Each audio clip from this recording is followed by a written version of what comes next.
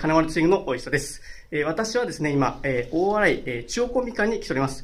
えー、今日ですね、えー、クイズ100人力を見る会にですね、えー、沢田さんがあ参加されました。えー、一言お願いいたします。はい、皆さんこんばんは。えー、商工会青年部部長の沢田と申します。石田君があまり出てないのでがっかりです。